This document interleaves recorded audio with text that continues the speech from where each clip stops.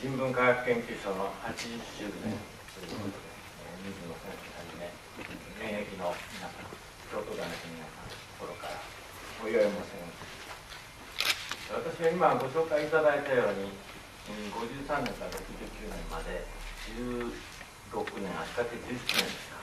あのずっと助手をさせていただきまし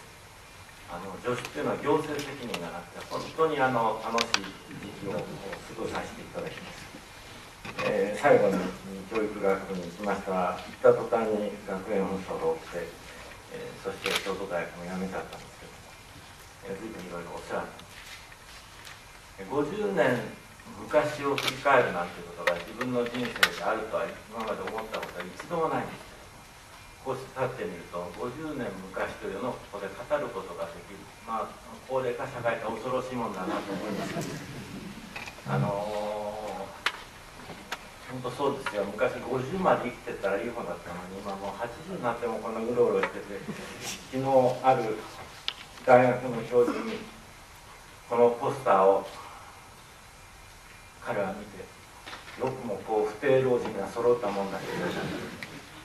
本当に不定老人がこうやってのこのこ出てきて50年前を語るってま誠にまむ抜けた話なんです。与えられた時間の中で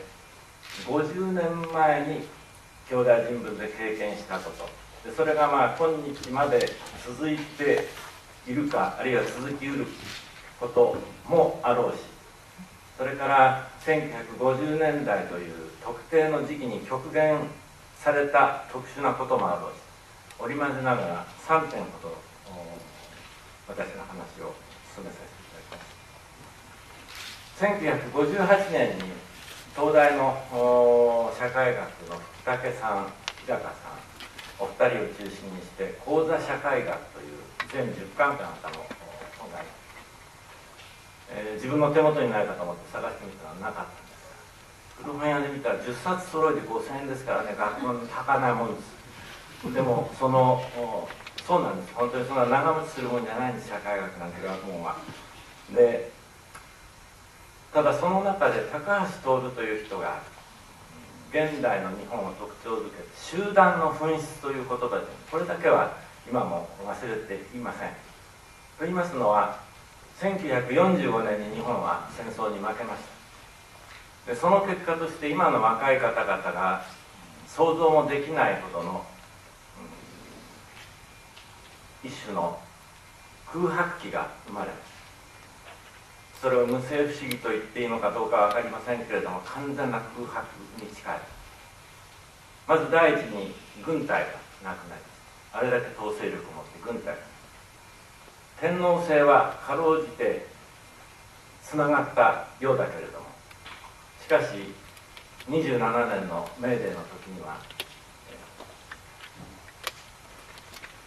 チンはたらふく食っているという有名なプラカードが出るほどに皇室はその尊厳を失い財閥と言っては悪いかもしれませんけれども財閥解体というのがあって経済界も完全に崩壊します。それを一元的に支配したのは申し上げるまでもなく占領軍。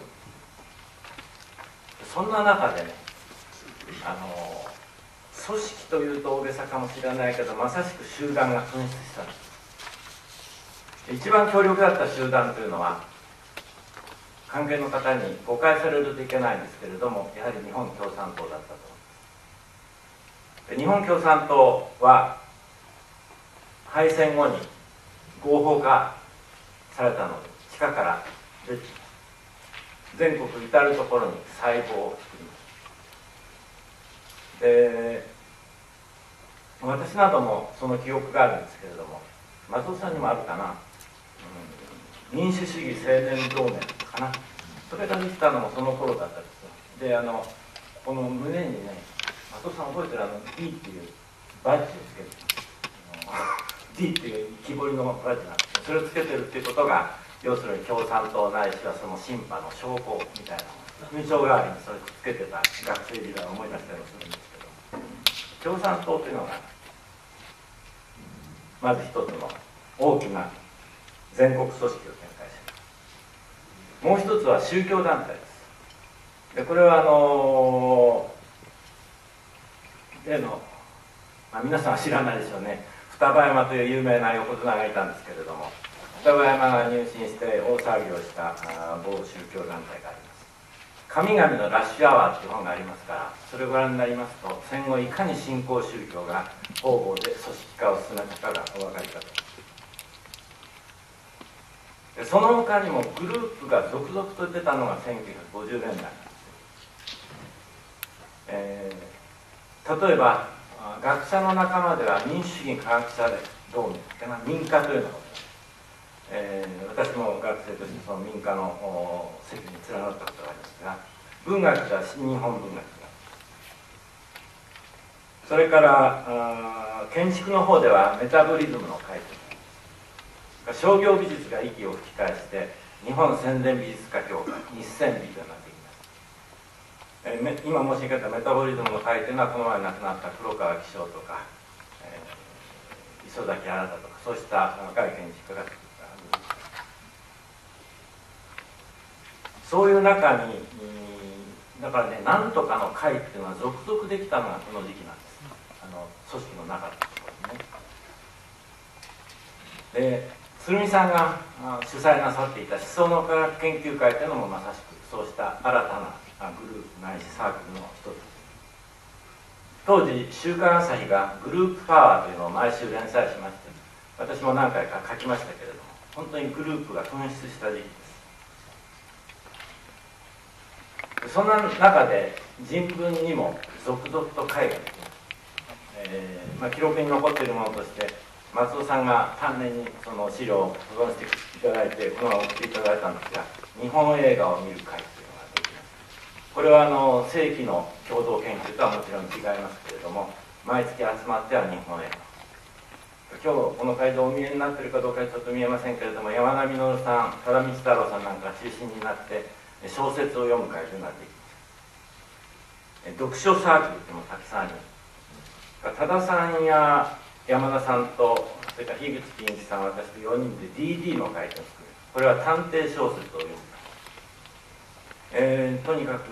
人文に行っても大学の中を歩いてもあらゆるサークルが歌声運動もその一つです。1959年に若い人が23人私を訪ねてきて私も若かったんですけど人に言えない不満がたくさんある不満と愚痴ばっか私の前で言って帰ったんでじゃあ不満の会っていうのを作ろう。不満の会を作りました。で不満の会を作って作った途端に私は海外に行くことになってあとお願いします。それを引き受けてくださったのは鶴見さんです。あのまだ覚えていただけると思いますけどまあ、不満の会なんていう会もできます。やたらに会ができた。そういう意味で人文が大変賑やかだった、つまり新たな組織を作ろうという活力に満ち溢れてたということが私の第一点です。これは今の人文に期待することはできない。50年代特有の現象だった。2番目に申し上げたいのが編集者というのかな。共同研究というのはすでにその成果が文字になって問われなければいけないというのは暗黙の了解したがって研究者であると同時に編集者であることを皆が考える。そういうエディターシップ編集者としてまあおそらく一番有能だったのは桑原武雄先生だったと。で共同研究が始まった時に出版社もある程度決まる。まあ、分担はその後に決まるわけですけれども大体こういう構成でやろうじゃないかということを編集長である桑原先生だけではなくて参加している全ての人間が自分の果たすべき役割というのを暗黙に了解して同時に現在と違いましてその頃出版ってのは大変な仕事だったということも思い出していただきたい思い出していただけないかもしれませんけれども大変な仕事だった。んですよ何しろ本を作るということが大変なことでした。しましてや本を手に入れるということは随分辛いことでもあります。1946年敗戦の翌年岩波書店で岩波文庫を売り出す前の日から大学生が岩波書店の周りにずらっと並ん私もその一人。何が当たるか分かんないです。で何が当たるか分かんないんですけども私が当たったのがセント・アウグスティヌスの告白録というものでなんでこんな本を買わなければいけないのかと思って当たったものはしょうがないのでそれが私の言わない部分最初の出会い。ですそれほどに本は貴重だったしそれか本を出すことは大変だった。だからこそ本を出すことにを目標にしてとりわけ桑原藩はいい仕事をなさい同時に出版というのは大変公共作業でしたから本が出せば何でも売れる時期がありましたので、えー、編集者がしばしば京都に来て、えー、岩波中央公論平凡社今思い出すだけでも何人かの編集者が京都に来るんですけれども、えー、当時新幹線がありませんのでね編集者にとって京都出張っていうのは大体1週間ぐらいの仕事。1週間京都に滞在してますとねそうすると毎晩飲む相手が必要になってくるんでこっちも飲む相手を探しているわけで、えー、費用は出版社が持ってくるたり割り勘にしたりいろいろでしたけれども編集者は1週間京都に居続けたお互いにいろいろ話もできた編集者根性と言っていいんでしょうかエディターシップというのが学者の間でも分かち合われていたような記憶がございまだ申し上げたことあるんですけれども最後の点に移ります、えー、後のことはまた後の補充後で保管いたしますけれども3番目にぜひとも言っておきたいことは、えー、京都大学人文に限らず京都大学の持っていた、付き合いですね。この頃の社会学者はソーシャルキャピタルなんて言葉を使いますけれどもこれは付き合いという言葉でいいと私は思ってます。でこれはその藤岡義成さんがしょっちゅう言っておられたんですけど共同研究が京都に向いているのはどれだけ遅くなってもその当時のお金ですね800円でうちに帰れるタクシーで。ですから研究会が1時から始まって5時に終わるというのは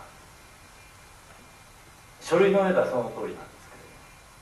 けれども実はその5時に終わってから後が楽しいので時には午前2時頃まであの議論を続ける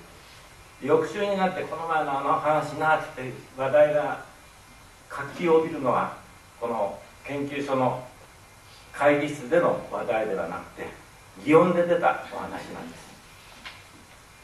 まあ擬音でなくて宮川町でどこでもいいんですけどもあのキャンパス外のところでまでずっと付き合われて今申しましたように800円で買える時代ですから居住地がね大体京都市左京区に限られる。あるいはそれに近い。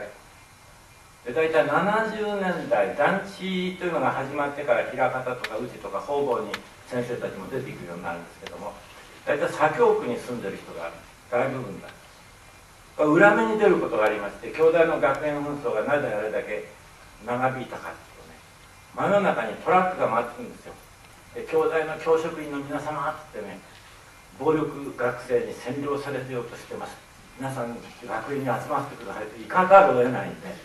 あの東大の先生はその点楽でね皆あの鎌倉だとかね千葉だとかですからねあのマイクは届かないんですけど京都市作曲がマイクが届く。でそれだけあのそのなんですかね普段の人付き合いっていうのは細やかなんです。今あの飲んでいましたけど必ずしも祇園だけじゃないんで梅沢忠夫さんの家なんて毎週水曜日になると我々が集まって明け方までお酒を飲んでくださ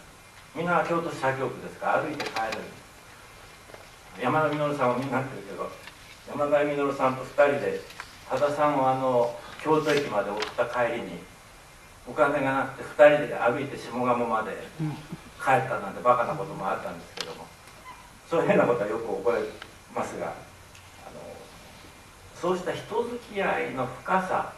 ですねこれは逆に狭さでもありますよ。狭くて深いっていうのはマフィアみたいなもんなんであのその付き合い論っていうのはね、うん、実は悪い方に転べば大変あるそういう付き合いの密度のが京都ではあり得たんですね。今もそれはあるかと思います。そして大学の規模自体が小さかったから研究所以外の学部の人との一況も日常的でしそこのあの新進道なんていうところに行くといろんな学部の人が集まっててとりわけ若い者同士はワイワイ昼間から研究室に行かず議論をしてた。そんなこともございますけど。今申し上げたことをもう一度繰り返しますと1番目に申しましたのは集団の時代だった2番目は編集者意識っていうのを持たなければ研究はできなかった。3番目はあのそうした社会的な付き合いの密度の高さ。これは京都特有のこととして、えー、今も読みない足りないところはまた後で申し上げます。ちょうど十分ありがとうございます。どうもありがとう